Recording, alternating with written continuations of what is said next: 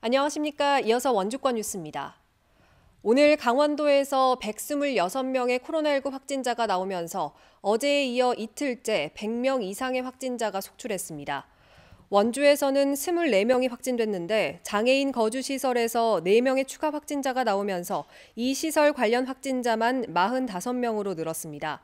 화천에서는 군부대 관련 확진으로 무려 60명의 확진자가 쏟아졌고 춘천 17명, 강릉 12명, 동해 5명, 속초와 홍천, 양구 각각 2명, 횡성과 인제 1명씩 추가됐습니다.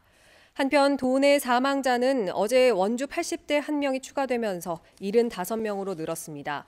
원주의 누적 확진자는 2,221명, 강원도 누적 확진자는 8,871명입니다. 지난달 강원도에서 가장 많은 확진자가 나온 연령대는 60대로 나타났습니다. 11월 강원도 월관 확진자는 모두 1,533명으로 이 가운데 60대 확진자는 292명, 19%를 차지했습니다. 이는 코로나19가 시작된 이후 전체 확진자 가운데 60대의 비율인 14.3%를 웃도는 결과입니다. 한편 60대의 뒤를 이어 50대가 191명으로 12.5%, 70대는 170명으로 11.1%를 기록했습니다. 지난달 강원도 월간 확진자 수는 지난 9월에 기록한 1,004명을 넘어 최대치를 기록했습니다. 강원 지역 장애인들의 건강권과 의료 접근권의 현 주소를 짚어보는 정책 토론회가 오늘 원주 영상미디어센터에서 열렸습니다. 원주 장애인 자립생활센터와 인권위 강원인권사무소는 장애인 단체 활동가와 사회복지 전문가 7명이 참여하는 장애인 건강권 진단 토론회를 개최했습니다. 특히 3년간 시행됐던 장애인 건강 주치 제도의 현황과 문제점, 개선 방안을 논의하는 데 집중했으며 토론회는 원주 장애인 자립센터 유튜브로 생중계됐습니다. 어제 저녁 7시 30분쯤 원주시 행구동 국도 대체 우회도로에서 50대 김모 씨가 달리던 승용차에 치여 숨졌습니다. 경찰은 승용차 두 대가 중앙 분리대를 따라 걷고 있는 김 씨를 미처 발견하지 못하고 잇따라 충돌한 것으로 보고 있습니다. 경찰은 김 씨와 충돌한 차량 가운데 사망 원인이 어떤 차량과 관련됐는지와 숨진 김 씨가 자동차 전용 도로에 들어온 이유 등 정확한 사고 경위를 조사하고 있습니다. 한국관광공사와 원주 협동사회 경제 네트워크는 비대면으로도 원주 사회적 경제 여행을 즐길 수 있도록 챗봇 서비스를 운영합니다.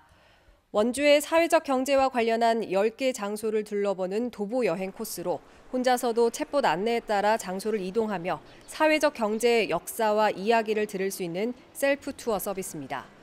카카오톡에서 원주 사회적 경제 여행을 검색한 다음 이용 가능하고 인공지능이 채팅 형식으로 설명과 안내를 하게 됩니다. 구규림을 무단으로 훼손해 농가, 농사를 짓는 불법 점유 행위에 대한 일제 정비가 실시됩니다. 북부지방산림청은 구규림 관리소와 합동으로 오늘부터 내년 2월 말까지 농사 목적으로 구규림을 훼손해 사용하는 농경용 무단 점유 현장을 찾아 정비한다고 밝혔습니다.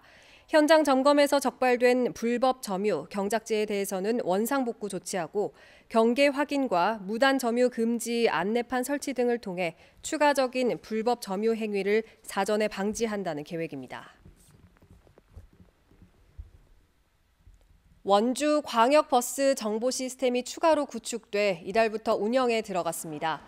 원주시는 국도비 등 2억 7천여만 원을 들여 도심 외곽 지역과 읍면 지역 8대를 포함해 모두 32대를 추가로 설치했습니다. 원주 지역에 설치된 버스 정보 안내 단말기는 모두 380대로 늘어 25%의 설치율을 보이고 있으며 내년에도 남원주 택지 등의 설치를 확대해 나갈 계획입니다. 국립공원공단이 오늘부터 50일 동안 자연의 소리를 담은 ASMR을 유튜브를 통해 매일 하나씩 공개합니다. 오대산 선제길 개울소리, 치악산 구룡사 빗소리 등 기존의 ASMR 외에도 전국 국립공원을 대표하는 자연과 동식물 등의 새로운 소리가 공개됩니다. ASMR은 청각 자극을 통해 심리적인 안정을 유도하는 소리와 영상을 말하며 긴장과 불안을 해소하는 효과가 확인됐습니다. 국립공원공단은 연말까지 ASMR 어플리케이션도 출시할 예정입니다. 광해광업공단이 내년부터 자원과 광해 방지 분야를 통합한 광업 자원 분야 국가 기술 자격 시험을 실시합니다. 자원관리 기술사를 비롯한 자원 분야 5개 종목과 광해 방지 기술사 등 광해 방지 두 종목까지 모두 7개로 내년도 3월부터 9월까지 순차적으로 필기 시험을 실시합니다. 해당 광업 분야 기술 자격 시험은 광물자원공사와 광해관리공단이 각각 실시해 왔지만 지난 9월 두 기관이 통합되면서 광업공단이 모두 맡게 됐습니다. 뉴스를 마칩니다. 고맙습니다.